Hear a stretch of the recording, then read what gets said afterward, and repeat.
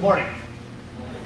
Welcome today to worship. Today is a celebration of the Reformation where we think about those, those great truths that we're saved by faith alone, by grace alone, and by Scripture alone because we're really saved by Jesus alone.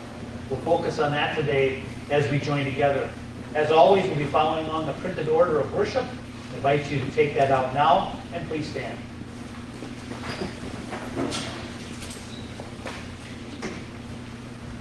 We worship today in the name of the Father, and of the Son, and of the Holy Spirit. Amen. Beloved in the Lord, let us draw near with a true heart and confess our sins to God our Father, asking Him in the name of our Lord Jesus Christ to grant us forgiveness. Holy and merciful Father, I confess that I am by nature sinful, and that I have disobeyed you in my thoughts, words, and actions. I have done what is evil and failed to do what is good. For this I deserve your punishment, both now and in eternity. But I am truly sorry for my sins, and trusting in my Savior Jesus Christ, I pray, Lord, have mercy on me, a sinner. God, our Heavenly Father, has been merciful to us and has given his only Son to be the atoning sacrifice for our sins. Therefore, as a called servant of Christ and by his authority, I forgive you all your sins in the name of the Father, and of the Son, and of the Holy Spirit. Amen. And we pray. Gracious Lord, our refuge and strength, pour out your Holy Spirit on your faithful people. Keep them steadfast in your word. Protect and comfort them in all temptations. Defend them against all their enemies and bestow on the church your saving peace through your Son, Jesus Christ our Lord, who lives and reigns with you in the Holy Spirit, one God, now and forever. Amen. Please be seated.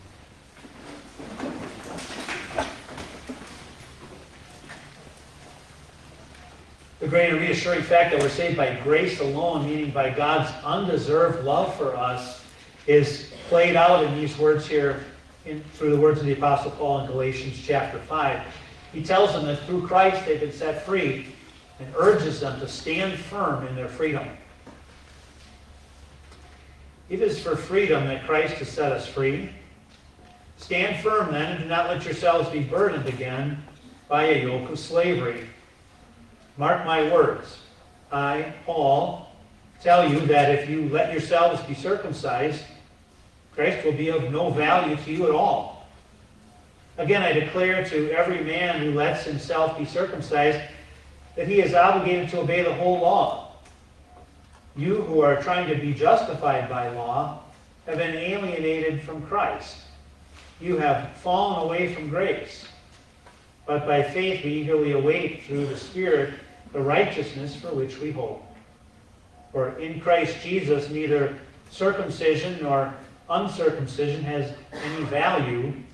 The only thing that counts is faith expressing itself through love. This is the word of the Lord. We continue now with our hymn response Be still, my soul.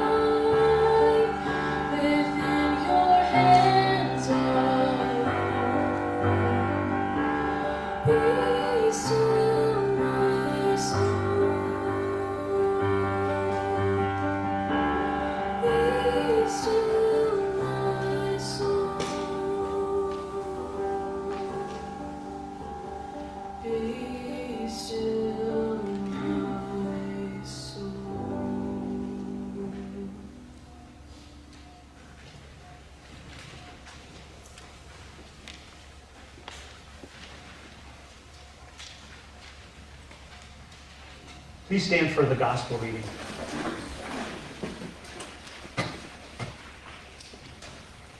These words today from, of Jesus from Matthew chapter 10. He gives encouragement to any person in a difficult situation where they're called to stand up for the truth. That reminds us of Reformation Day, but it also reminds us of today, in times when God calls us to stand up and be strong for the truth. Consider these words. I am sending you out like sheep among wolves. Therefore, be as shrewd as snakes and as innocent as doves.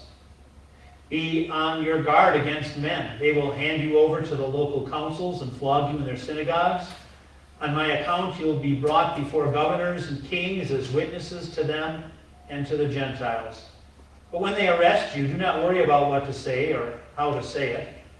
At that time, you will be given what to say for it will not be you speaking, but the Spirit of your Father speaking through you. Brother will betray brother to death, and a father his child. Children will rebel against their parents and have them put to death. All men will hate you because of me. But he who stands firm to the end will be saved. When you are persecuted in one place, flee to another. I tell you the truth you will not finish going through the cities of Israel before the Son of Man comes. This is the gospel of the Lord. We continue now as we speak uh, together the words of the Nicene Creed on the bottom of page 3. We believe in one God, the Father, the Almighty, maker of heaven and earth, of all that is seen and unseen. We believe in one Lord, Jesus Christ, the only Son of God, eternally begotten of the Father, God from God, light from light, true God from true God, begotten, not made, of one being with the Father. Through him all things were made. For us and for our salvation, he came down from heaven, was incarnate of the Holy Spirit and the Virgin Mary, and became fully human. For our sake he was crucified under Pontius Pilate. He suffered death and was buried. On the third day he rose again in accordance with the Scriptures. He ascended into heaven and is seated at the right hand of the Father. He will come again in glory to judge the living and the dead, and his kingdom will have no end. We believe in the Holy Spirit, the Lord, the giver of life who proceeds from the Father and the Son, who in unity with the Father and the Son is worshiped and glorified, who has spoken through the prophets. We believe in one holy Christian and apostolic church. We acknowledge one baptism for the forgiveness of sins. We look for the resurrection of the dead and the life of the world to come. Amen. Please be seated. And our next hymn a mighty fortress is our God.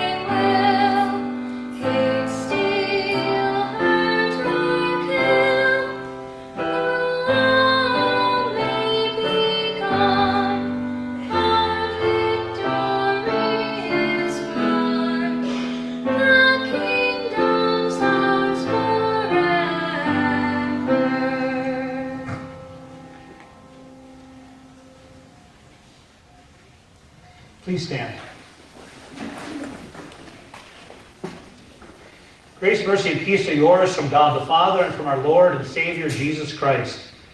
This morning, for our message, we'll consider these words from Galatians chapter 5. I'll read the first verse.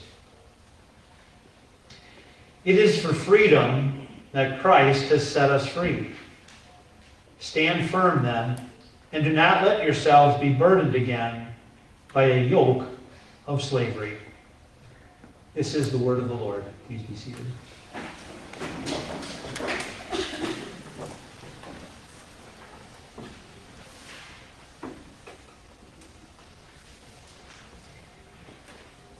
Dear friends in Christ, Ronald Reagan, the 40th President of the United States, said this Freedom is never more than one generation away from extinction. We didn't pass it on to our children in the bloodstream. It must be fought for, protected, and hand it on for them to do the same. Or one day we will spend our sunset years telling our children and our children's children what it was once like in the United States where men were free. Reagan's point was this you can have freedom, but you can also lose freedom. So if you have it, you better stand up for it, and you better fight for it, or it will be gone. Because if it's worth having, then it's worth fighting for.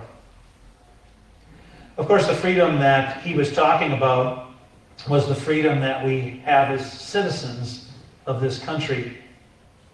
It's very important. What's more important than that freedom? Well, maybe just one thing Today, the Apostle Paul talks to us about being citizens of a different place and a different type of freedom. Today, we will talk about freedom, but not freedom in America, freedom in Christ. Listen again to the verse.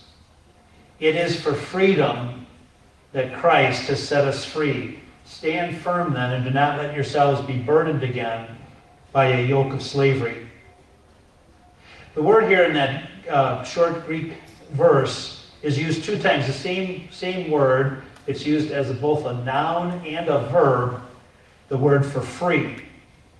What Paul is saying is, he says, You have been freed for freedom. Or someone said you could translate it, Christ has completely set us free. What does he mean here what does it mean to be free or to have freedom?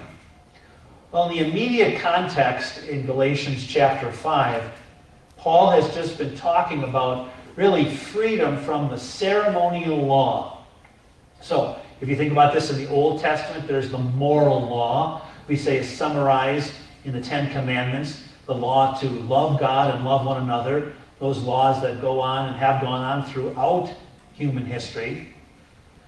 But then for a time, there was something that we often refer to as the ceremonial law. These special rules or ceremonies that God gave his people that set them apart from the other nations on earth, and also did one other very important thing. They pointed the people to the fact that Jesus was coming. He, in these rules, there was this reminder yes, Jesus is coming. And so there were lots of different laws. There were laws regarding how you handled uh, situations where there was blood, if you came in contact with mildew, food was clean or unclean. Sometimes we might use the word kosher. And of course, the big one was circumcision. Baby boys were supposed to be circumcised on the eighth day. All of those things, in one way or another, helped the people to remember the important thing that was about to happen Jesus was coming. Of course, by the time the Apostle Paul says these things in Galatians, Jesus has already come. Jesus has already lived, lived a perfect life in everybody's place. Jesus has already died, died on the cross for everybody's sins. Jesus has been that person that we couldn't be, and he died for the people that we aren't. And it was God's design then that through Jesus, God would forgive people, He would save people, and He would give them freedom. Freedom in Christ. Those ceremonial laws, you might say, had an expiration date on them. You know, things that have an expiration date, right? When you have food that's an expiration date, or maybe you need to check your Halloween candy, see if it has an expiration. I always say just eat it right away. Eat it all the first day, and you won't have a problem. But there's an expiration date on things, and there was an expiration date on the ceremonial laws. Those things told people to look forward to Jesus, but once Jesus came, they didn't fulfill that anymore. Well, you know what happens. After a while, people get laws in their minds and they just keep following them anyway. And that's what happened here. Jesus had come and fulfilled all those things, but people came into these people, the Galatian people, and they were saying, you know, you better still do all those Old Testament ceremonial laws. You still better have your sons circumcised on the eighth day. And what happened was, is in the minds of the people, trusting in Christ wasn't enough. I also have to do all these other things. And what it did is it led the people to take their eyes off of Christ and to put their eyes back on themselves and how well they were following those specific laws. And Paul says today that if you do that, if you take your eyes off of Christ for your salvation and you start thinking about salvation in terms of what you've done, he said Christ will be of no value at you, for you at all. Rather than being free in Christ, he said you're putting yourself back in slavery. It's like you're going back to jail. Now, I was listening the other day. I heard this pastor, uh, Christian pastor, who was talking, who I believe was involved in prison ministry in a different country. And, he was saying that one of the people that they met was this, this, young, uh, this young boy. He said that by the time he was 14 years old, he had already been in jail 27 times. He said so that when they went and visited him, what would happen is this he had posters up on his wall, he had decorations on his bed. He said he was making his life comfortable in jail, sort of like make yourself at home. He said, You should never be comfortable with jail, especially when you're 14. Paul's words are about the same. If Christ has set us free, don't put yourself back in slavery. I was thinking about how do we do that today? well, I don't see too many people concerned about cleaning up mildew with religious implications or ordering a rare steak or eating a ham sandwich or, or thinking about circumcision as that relates to one's faith.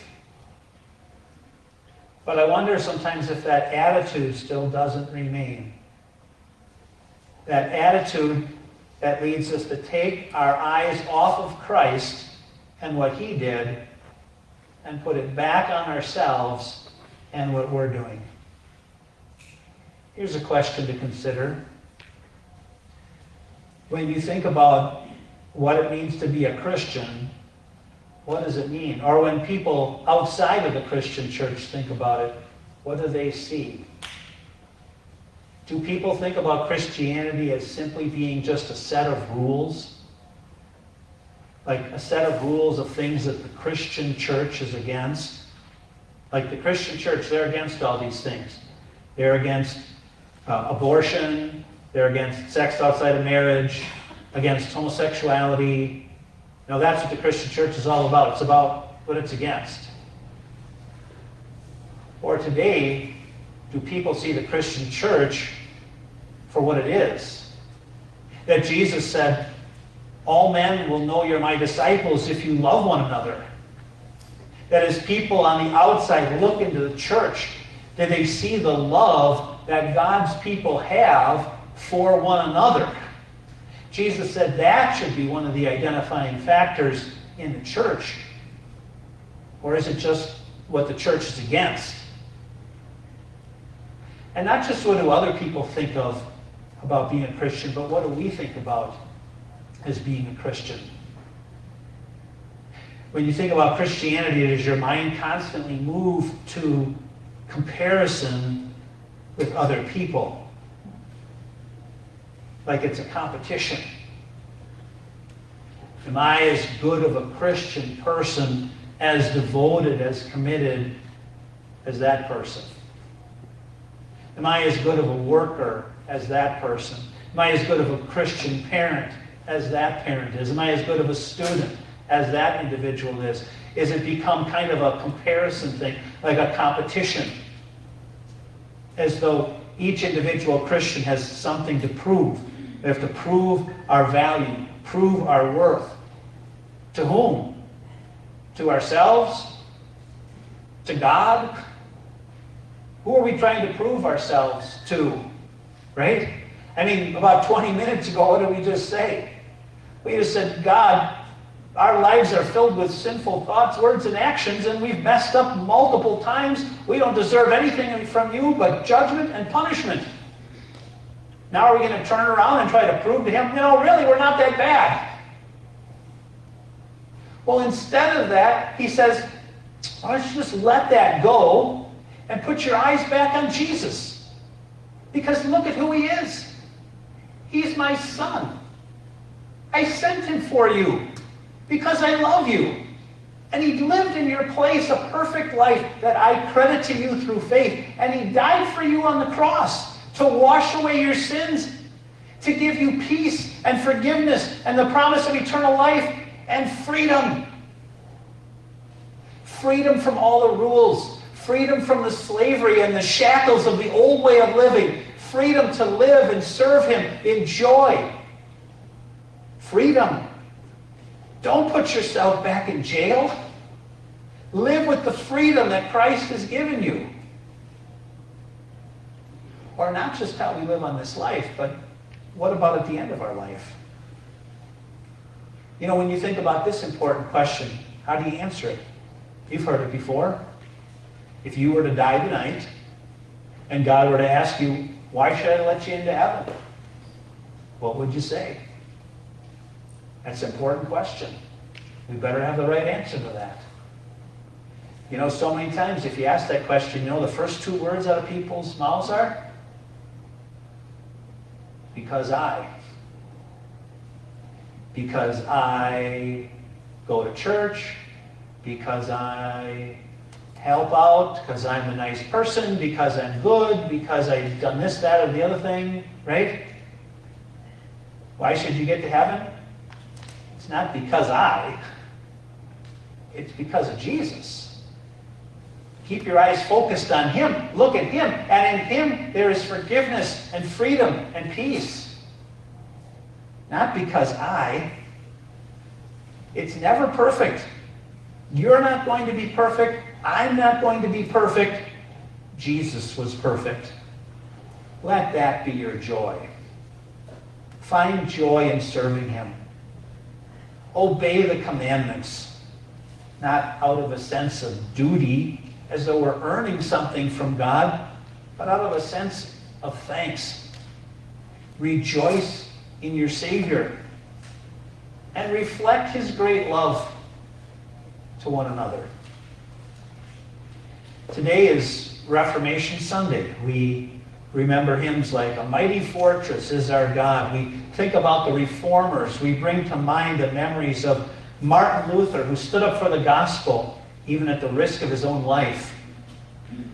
And something I learned about Luther I didn't know. You know, he did not marry until later in life, until he was 41 years old. His wife uh, was Catherine von Bora.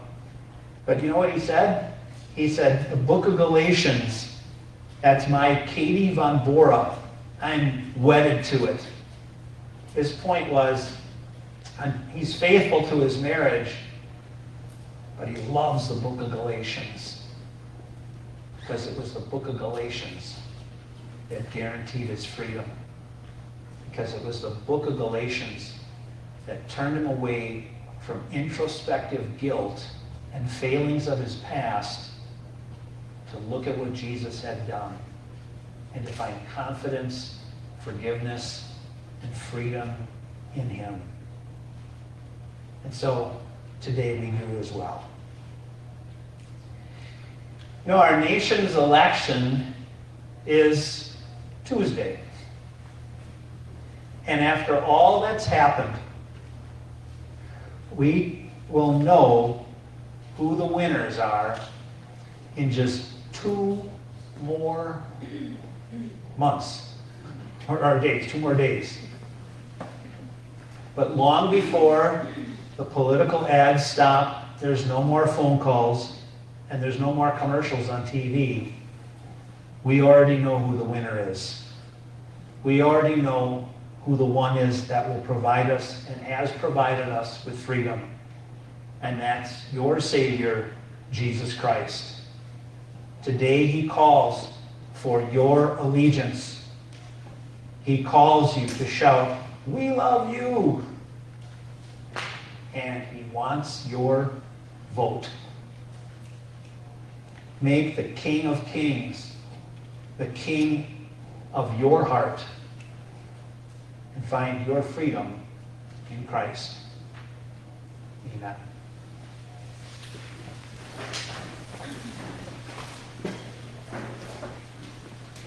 May the peace of God, which passes our human understanding, guard your hearts and minds through faith in Christ Jesus. Amen. And our service continues with prayer and the Lord's Prayer. Dear Heavenly Father, today we rejoice in your goodness that though we on our own deserve only judgment and punishment because of our many sins, that by your mercy and grace you save sinners through the work of your Son and that you save us by faith and not by our works. Help us to never lose that simple core truth that you have revealed to us in the Scriptures. Stop us when our sinful hearts want to believe that we have won or earned our own salvation in some way. We thank you for the reformers throughout history and for every person today who speaks up for the truth. Send the Holy Spirit that we may treasure your word and sacraments and stand up for the truth in our own lives that through these means of grace and your work and the gift of saving faith, you bring people to be your own. We also pray for our nation as we prepare to select government leaders. Grant wisdom to voters and bless our country with wise leaders who will direct the affairs of our country for the good of people. No matter what the results, grant us peace then help our leaders to stand up and speak for causes that are just and true, to defend those who cannot defend themselves, to stop those doing evil, to work for peace. For Lord, all government workers are truly under you, for you established earthly government. You alone are the King of kings. You are the Lord of lords. This world was designed for you, for your glory. So may we also live for your glory. And through our leaders, May you bring peace, that your word may increase and grow. These and all our prayers we bring in our Savior's name, who has also taught us to pray. Our Father, who art in heaven, hallowed be thy name. Thy kingdom come, thy will be done, on earth as it is in heaven. Give us this day our daily bread, and forgive us our trespasses, as we forgive those who trespass against us. And lead us not into temptation but deliver us from evil. For thine is the kingdom, and the power, and the glory, forever and ever. Amen. Our Lord Jesus Christ, on the night he was betrayed, took bread, and when he had given thanks, he broke it and gave it to his disciples, saying, Take and eat. This is my body, which is given for you. Do this in remembrance of me. Then he took the cup, gave thanks, and gave it to them, saying, Drink from it, all of you. This is my blood of the new covenant which is poured out for you for the forgiveness of sins. Do this whenever you drink it in remembrance of me. Now pause, uh, you may be seated. Pause for a few moments for a silent confession, where we can confess our sins before the Lord and also lay hold of the great promise of forgiveness through Jesus and rejoice in all he has done for us.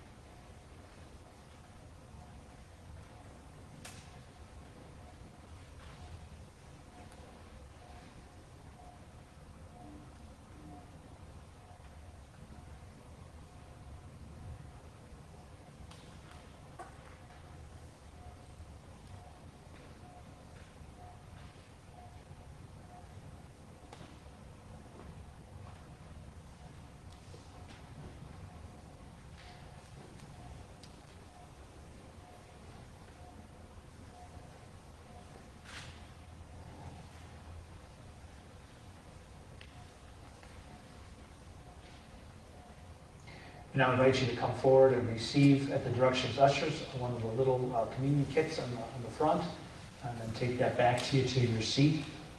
And then after everyone's received uh, those, I will give the further directions. And during the time of the distribution, we will consider the hymn Jerusalem the Golden.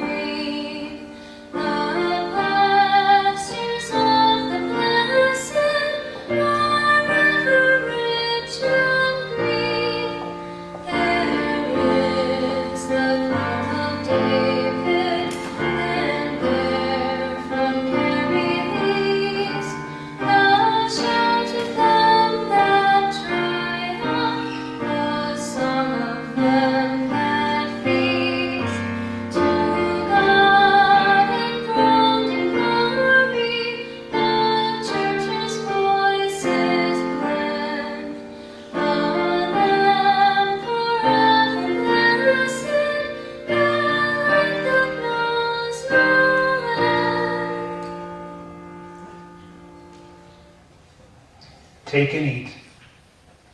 This is the true body of our Lord and Savior, Jesus Christ, given into death for your sins.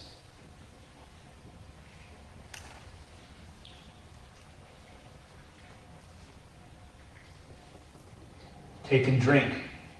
This is the true blood of our Savior Jesus Christ, shed for you on the cross for the forgiveness of your sins. May this strengthen and uphold you in the true faith to life everlasting. Go in peace. Your sins are forgiven. Amen.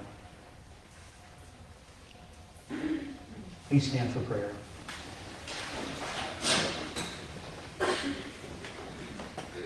Almighty God, grant to your hurt, grant to your church the Holy Spirit and the wisdom that comes from above let nothing hinder your word from being freely proclaimed to the joy and edifying of Christ's holy people, so that we may serve you in steadfast faith and confess your name as long as we live. Through Jesus Christ our Lord, who lives and reigns with you in the Holy Spirit, one God, now and forever. Amen. The Lord bless you and keep you. The Lord make his face shine on you and be gracious to you. The Lord look on you with favor and give you peace. Amen.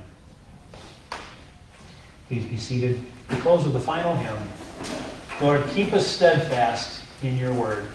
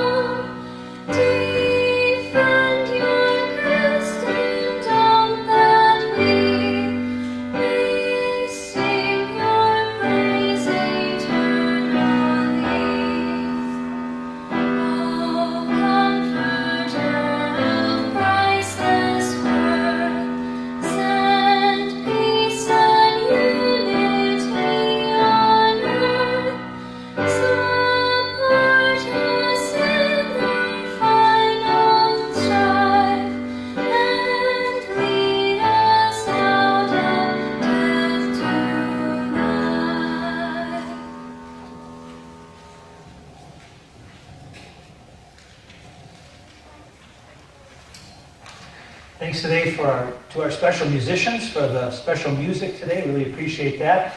May even have an opportunity to have some more of that in the future. In just a minute, we're going to have an opportunity to watch a short video about the diorama, the live nativity that will be taking place in La Crosse in just a couple of weeks.